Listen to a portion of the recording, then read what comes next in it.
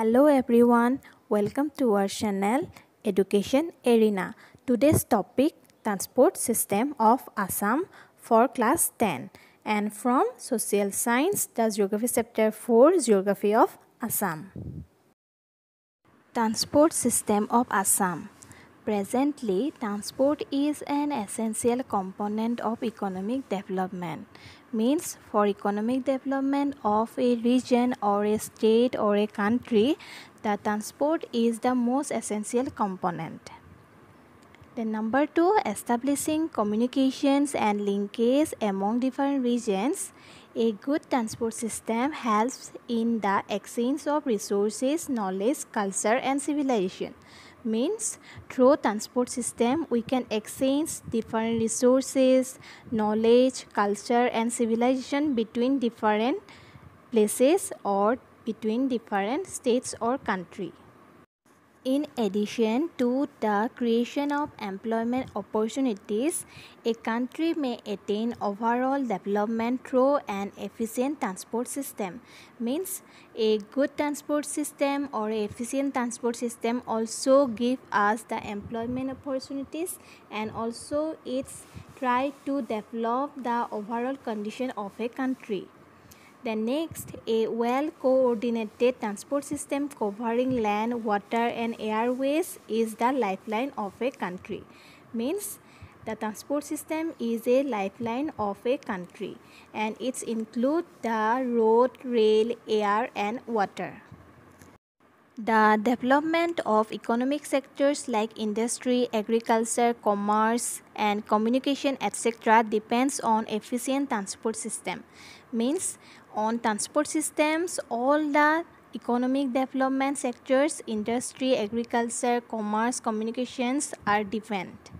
Then next point, the transport system also plays an important role in the development of social culture and political fields of a country.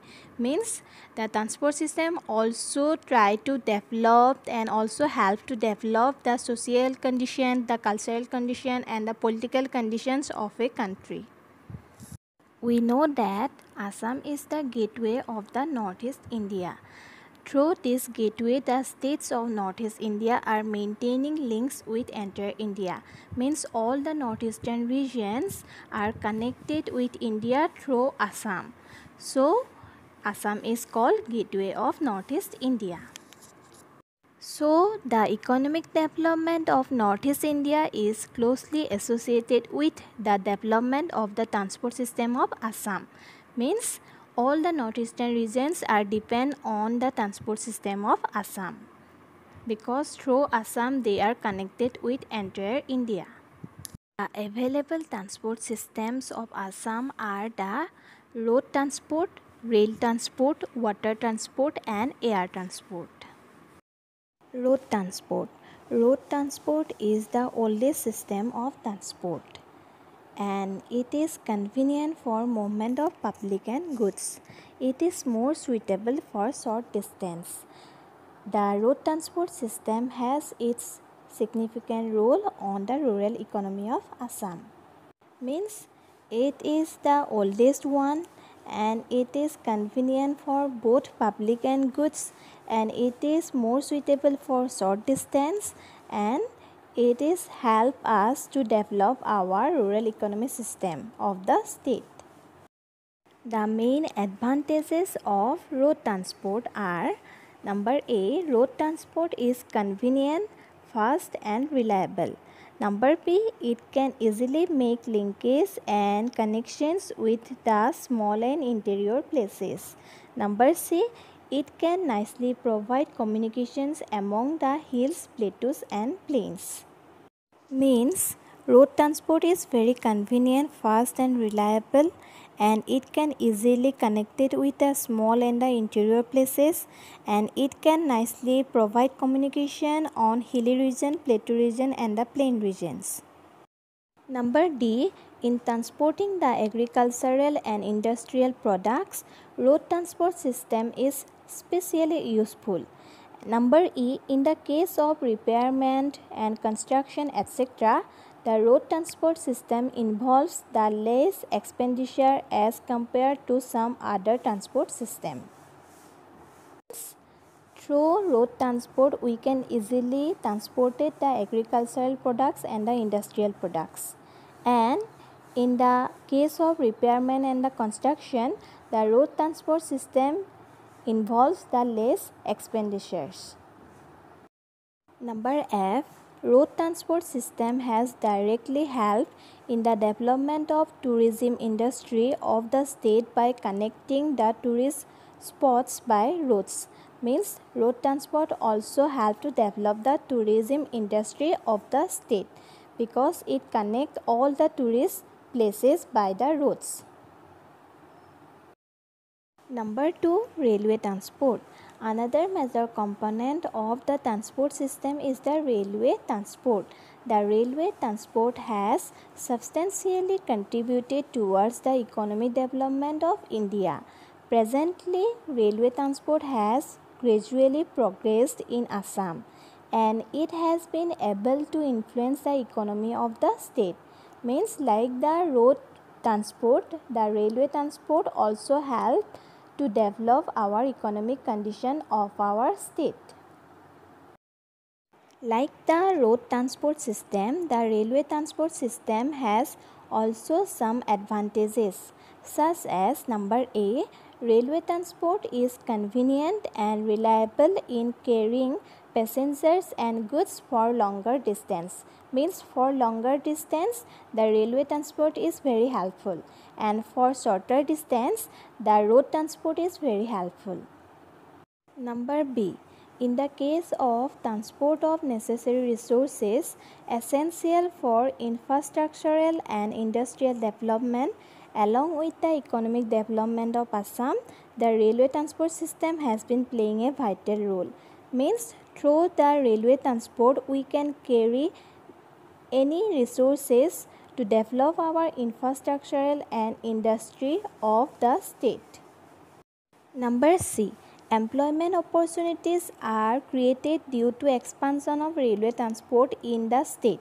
Number D. This transport system has enhanced national unity by connecting Assam with the distant states of the country. Number E. Railway transport has become auxiliary to the development of road transport system. Means the road transport system also give the employment opportunities when it expand. Then it also create the connections between the other states of the country and it is also help to develop the road transport system. Number 3 water transport the water transport system of Assam is basically the inland water transport system. Assam is a land of rivers, the Brahmaputra and the Barak rivers and their numerous tributaries which account for 32% of the total water resources of India are serving as the waterways of the state. Means mainly Assam have the inland water transport system and in Assam there are mainly two big rivers the Brahmaputra and the Barak rivers and they have numerous tributaries and which help us to serving the waterways properly.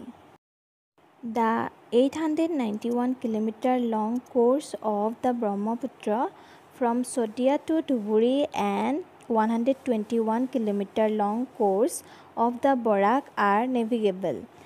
The navigable waterway of the Brahmaputra was declared in 1988 as the second national waterway of the country. The river Brahmaputra 891 km long and the river Barak 121 km long and in the year 1988 the Brahmaputra was declared the second national waterway of the country. This waterway has been contributing much to the economic development of entire northeast India including Assam. Means the waterways develop the northeast India also Assam. The advantages of the inland water transport of Assam are number A there are opportunities for expansion of the water transport system in Assam being a land of rivers. Number B expenditure for fuel in water transport is less as compared to other modes of transport. Means in Assam there have opportunities to expand the water transport system and also the expenditure for fuel in the water transport is less compared to the other modes of transport like the road and railway transport. Number C, water transport is more useful in transporting heavy goods. Means to transport the heavy goods, the water transport is very useful. The number D, the inland water transport has been serving for the transport of goods and passenger within the state. E. Like the road transport, the water transport has no such problem of air pollution. Means like the road transport, the water transport has no any air pollution. Number F. The water transport system has been extending help to the people of places backward in road communication for movement of goods and passengers. Means the places which are backward in road communication the water transport help this type of places for movement of goods and passengers. Number Z. During natural disasters, especially flood in the state, the water transport plays an important role. Means during flood, the water transport help to carry out the people or the goods. Number H, there are no problems like repairing, maintenance, road construction, etc. in the case of water transport system because the natural rivers and streams are used for waterways. Means in waterways there have no any problems like maintenance and road construction etc. Number 4 air transport. Air transport is an integral component of the modern transport system. At present, the air transport sector of Assam has made some developments. Assam now stays connected with different places of India through air transport. Means like India, Assam also developed in air transport system and it's also connected the different places of India. In air transport of the states is in operation through the civil airports located at Guwahati, Tezpur, Jorhat, Dibrugarh, North Lakhimpur and Silchar. In addition, one more civil airport located at Rupsi, Dhuburi is lying closed for long time. All the major airlines under private sectors are operating regular flights to and from Guwahati. Means all the private sectors airlines flights are operating from Guwahati or operating to Guwahati. Besides this, some private companies and agencies are also operating helicopter services within the state or connecting the interior places of the states of Northeast India. Means some private companies or agencies also operating some helicopters and with the help of these helicopters they connected the interior places of Northeast India.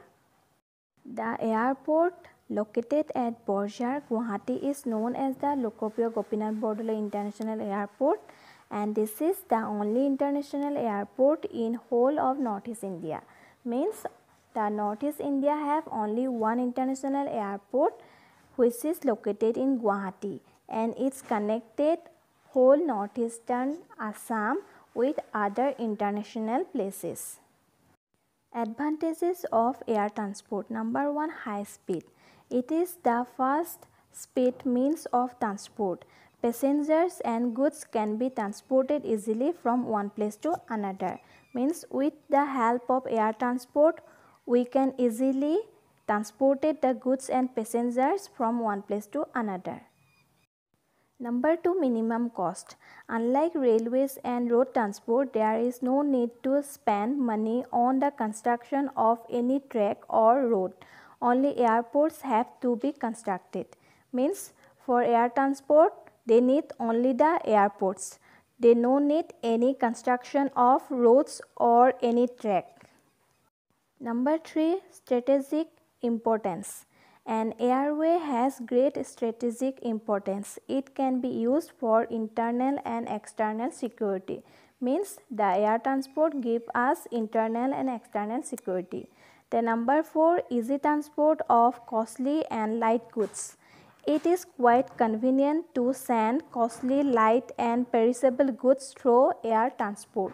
Means the items like the perishable and the costly and light goods easily move from one place to another through the air transport. Number 5 free from physical barriers. Air transport is free from physical barriers like river, mountains and valleys etc.